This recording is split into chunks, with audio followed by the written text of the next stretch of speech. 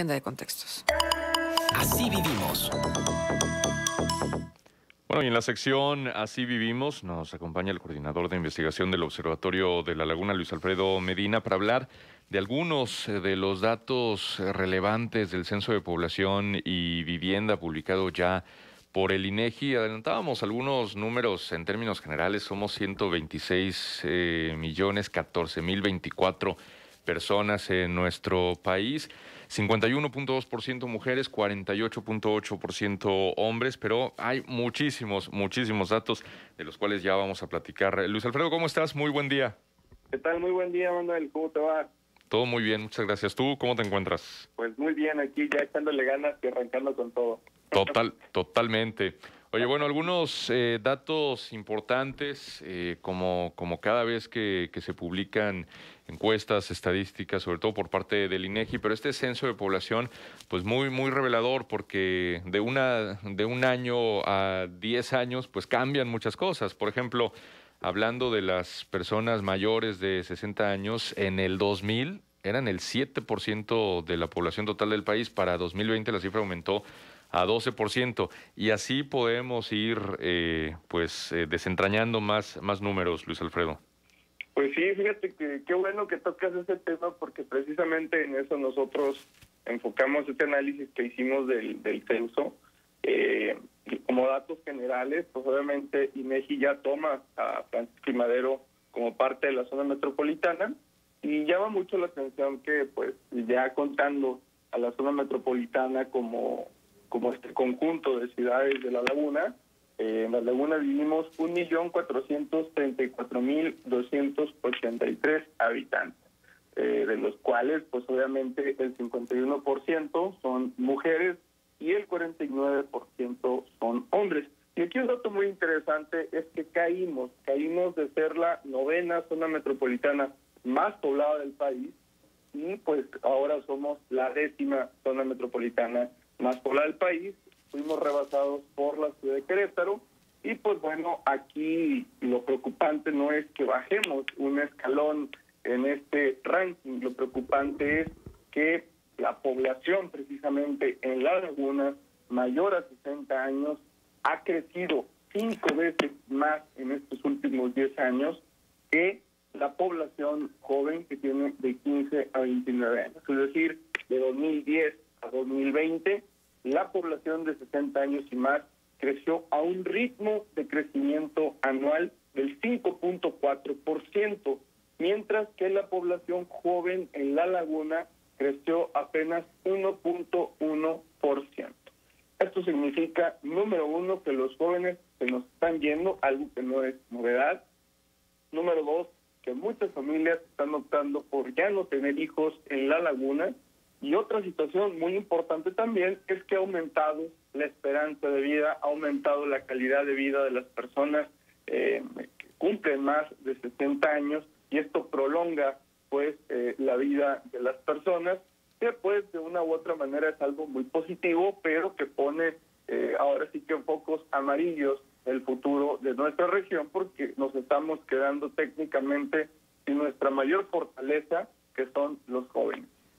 Sí, justamente esa era la, siguiente pregunta, si esto tendría alguna repercusión en el nivel de competitividad o eh, sobre todo qué tipo de actividades económicas podrían verse afectadas de seguir esta tendencia de disminución en el ritmo de crecimiento de población joven. Pues mira, definitivamente gran parte de la industria en, la laguna eh, se mantiene gracias a la fuerza de trabajo de la población joven se mantiene gracias a esa energía que tienen, a esa capacidad, a esa eh, fuerza que, están desarrollando y en parte también se mantiene gracias a la experiencia, al sustento de la población mayor a 60 años. Debe de existir un equilibrio entre ambas, pero pues aquí la, la pregunta es hasta qué grado vamos nosotros como ciudad a soportar esta situación de que se nos van los jóvenes. Te paso un dato que me parece muy interesante eh, analizarlo y ponerlo sobre la mesa. En 1990, hace 30 años, había 270 mil jóvenes de 15 a 29 años en la laguna y solamente había 53 mil personas eh, mayores de 60 años. En el 2020 la, la proporción es de 343 mil jóvenes y 159 mil personas mayores de 60 años. Es decir, la brecha cada vez se va cerrando más y pues esto eh, te habla de una situación de fuga de talentos muy importante y repito que pues, la economía de una u otra manera va a tener que evolucionar al ritmo de la población que está cambiando.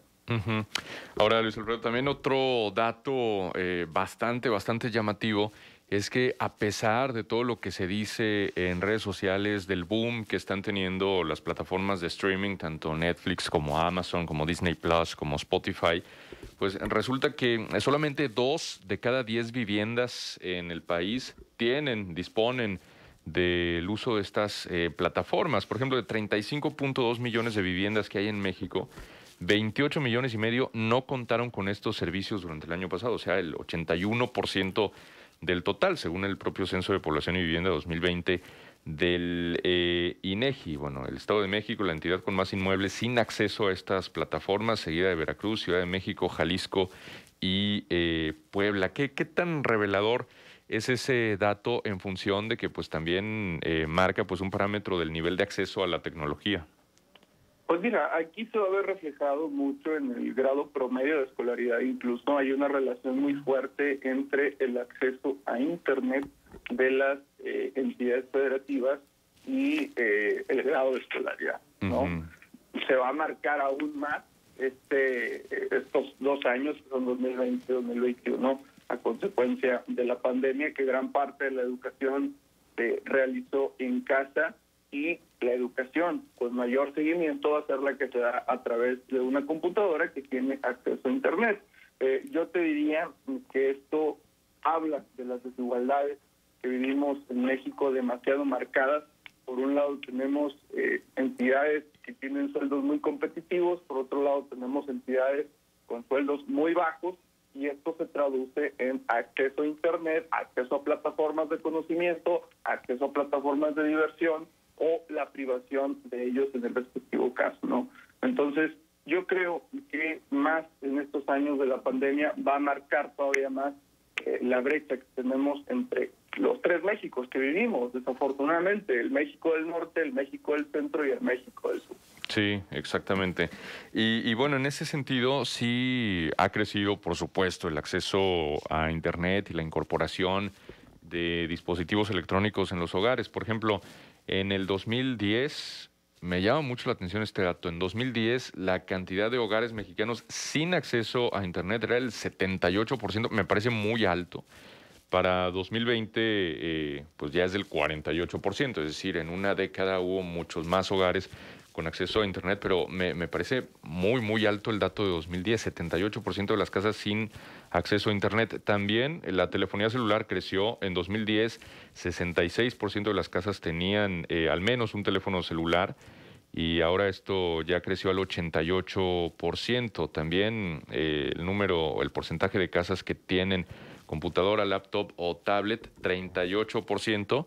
Y pues esto sin duda ha cobrado mucha relevancia ahora con el home office y las clases en línea, más allá de que hay muchos hogares pues en desventaja y niños en rezago educativo también.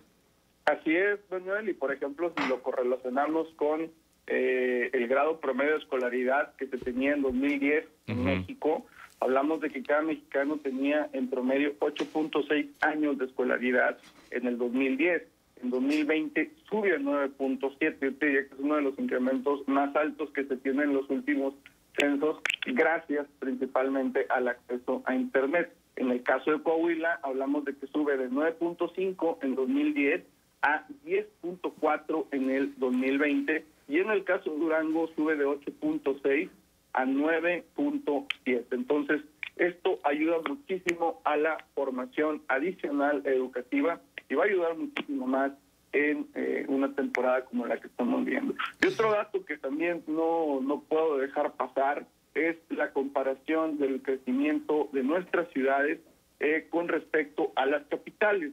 Y es que desafortunadamente eh, de 2010 a 2020 Gómez Palacio solo creció un 13.6% eh, de su población, mientras que Durango Capital creció 18.3%. En el caso de Torreón, creció 12.7% en los últimos 10 años, mientras que Saltillo crece 21.4%. Si nos comparamos con otras ciudades con una dinámica industrial, pues tanto Torreón como Gómez Palacio quedan muy rezagadas. Bueno, te paso el caso de Querétaro, que es verdaderamente admirable. Eh, en estos últimos 10 años, Querétaro aumentó su población un 68%. En, en el 2010, en Querétaro había 626 mil habitantes. Torreón tenía 300, 639 mil habitantes. Al día de hoy, Querétaro tiene un millón cincuenta mil habitantes, mientras que Torreón apenas llegó a los 721 mil habitantes. Entonces, eh, esto te habla del rezago que tienen las ciudades de la laguna frente a otras ciudades que han atraído mayores empresas, que han logrado capturar a los egresados que salen de las universidades y que pues han adaptado su crecimiento a la dinámica económica que tienen. Eh, ¿Qué hay en torno al tema de los servicios públicos con los que cuentan las viviendas? Eh, Luis Alfredo, este, es un tema que a lo mejor municipalmente es muy importante conocerlo. Eh, ¿qué, porcentaje de las viviendas tiene, por ejemplo, agua corriente, agua potable? ¿Qué, ¿Qué porcentaje de las viviendas tiene drenaje? Porque esto, de alguna manera, nos habla de la calidad de vida de los habitantes. Así es, pues mira, Marcela, no tuvimos oportunidad de sacar esos datos eh, lo vamos a sacar en una pequeña publicación, espero tenerla dentro de 15 días, haciendo un énfasis comparativo entre cómo están los cuatro municipios de la zona metropolitana con otras ciudades del país para analizar por qué el factor de servicios públicos ha sido un detonante para la mayor atracción de inversiones y generación de empleo. Oye, pues, más mujeres que hombres eh, somos, eh, ¿cómo registra el censo? Estamos hablando de que un total de 51% de la población son mujeres y un 49% de la población son hombres. Eh, el grueso de la población, por así decirlo, es todavía la población joven, aunque con miras a irse picando cada vez más y darle paso a la población eh, en edad Claro, bueno, se habla mucho de la pérdida del bono demográfico desde hace mucho. Todavía, todavía no nos alcanza el destino, pero hacia allá vamos demasiado, eh, es algo que, llama muchísimo la atención. Eh, por ejemplo, eh, te diría que de las de las cuatro ciudades que nosotros analizamos, Torres, Matamoros, Gómez y Lerdo, registramos un promedio de crecimiento de 1.3% de las ciudades, pero vemos, por ejemplo, que Matamoros se va quedando más rezagado, Lerdo incrementa un poco su población, y lo que vemos, por ejemplo, en el tema migratorio es que gran parte de la población de Gómez y de Lerdo en edad profesional está mudando a la ciudad de Torreón, mientras que los habitantes de la ciudad de Torreón en edad universitaria están optando por irse eh, de la ciudad, ¿no? A otras ciudades como Querétaro, León, Aguascalientes. Pues sí, a dónde está el desarrollo. A dónde está el desarrollo, esa es la verdad de las cosas, a donde tienen más oportunidades. Pues si no, no te vas porque quieres. Finalmente el, el fenómeno de la migración tiene que ver con buscar mejor calidad de vida y oportunidades. Así es, y es otro de los temas que tocaremos en esta pequeña publicación, donde abordaremos el tema de la migración. Este pasó, por ejemplo, este otro dato. En León la población creció 20.6%, en Aguascalientes creció 19.1%, Ciudad Juárez creció 13.5%, y te habla de ciudades que están captando a una gran cantidad de jóvenes porque los que tenían prácticamente egresados de sus universidades ya fueron cubiertos por la demanda, y perdón, por la oferta laboral. Entonces, mm. muchos jóvenes están optando por irse para allá y Torreón se ha convertido, por así decirlo, es uno de los principales exportadores de mano de obra en el país. Claro, son yo, diría, porque exportadores se oye muy nice, muy bonito, más bien un expulsor o sea, está expulsando a sus, a sus jóvenes porque no hay oportunidades. Qué triste. Oye, eh, y, bueno, un dato que hoy destaca Vanguardia, el periódico eh, de Saltillo, eh, es el estado civil de los, de los mexicanos, que bueno, a lo mejor ya esto es más forma que fondo, pero finalmente yo creo que refleja mucho. El matrimonio pasa a ser la segunda opción de miles de mexicanos, ya que aumentó al 18% la cifra de personas que viven en unión libre, considerando que en el 2000 este porcentaje representaba el 10%. Se hace este, también esto interesante y son datos que estaremos desglosando y por supuesto tratando de entender qué es lo que está sucediendo. Así es, pues mira, va, muy de la mano con lo que lo que el mismo INEGI eh, ha eh, registrado en sus plataformas de estadísticas de nupcialidad, por ejemplo en Coahuila, por cada 100 matrimonios que hay, hay 42 divorcios, ¿no? Mientras que hace, no sé, 10 años, la tendencia era de 100 matrimonios por cada 21 divorcios. Mm. Se ha disparado la cantidad de divorcios en los últimos años y por eso vemos este tipo de eh, Opciones. pensamientos o- o, posicionamientos Sí, en las claro. encuestas. Exacto, muy bien, pues lo seguiremos analizando y pendientes de las publicaciones que hagan desde el Observatorio de la Laguna, Luis Alfredo. Como siempre, muchísimas gracias. No, hombre, muchas gracias a ustedes y en 15, en 15 días a más tardar eh, esperamos tenerles esta información completa. Correcto, muy bien. Te mandamos un abrazo, Luis Alfredo. Igualmente, hasta luego. Hasta luego, gracias. Hasta luego, es Luis Alfredo Medina, coordinador de investigación del Observatorio de La Laguna, con algunos datos eh, relevantes del Censo de Población y Vivienda 2020 eh, publicado ya por el INEGI y sobre todo lo que tiene que ver con nuestros municipios de la zona metropolitana de La Laguna. Vamos a la pausa, 8 con 28, 14 grados, ya volvemos.